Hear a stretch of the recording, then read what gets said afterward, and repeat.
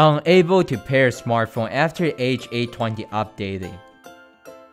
First, you will need to remove the connection between your Edge and Garmin Connect Mobile.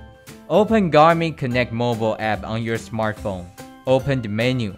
Android, select the menu button at the upper left. iOS, select More at the lower right corner. Select Garmin devices.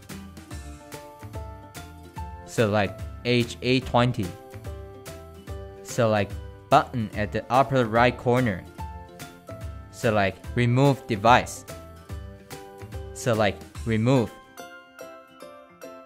If there is attention required display on your Garmin Connect Mobile, please close your app and skip this step to the next one. If you are an iOS user, you will need to remove your Edge from the Bluetooth settings in your smartphone. Android users can skip this step. From the phone, select Settings, select Bluetooth. Under My Devices, you will see BTH820 and the Edge 820. Select the eye icon and then select Forget this device for both.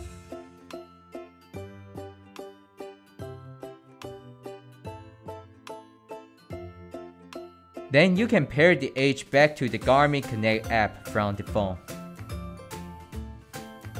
Open the Garmin Connect app. Open the menu. Android, select the menu button at the upper left. iOS, select More at the lower right corner. Select Garmin devices. Select the option to add device.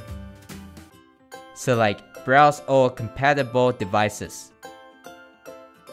Select Edge. Now we need to put the Edge 820 in Bluetooth pairing mode. From the Edge 820, select the main menu button at the lower left corner. Select Settings.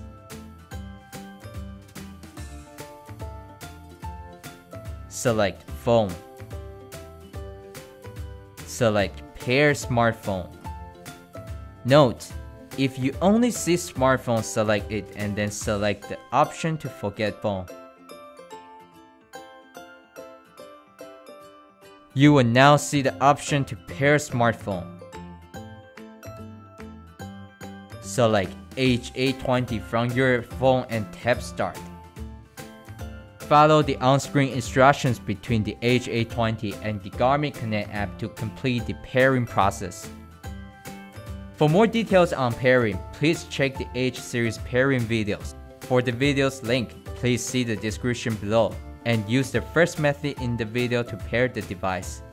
Do not pair with the second method in the video. It might cause the connection problem happen again.